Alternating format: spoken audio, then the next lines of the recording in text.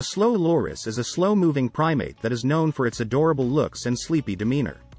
They are nocturnal animals and are known for their slow movements, but they have a secret weapon, they're actually venomous.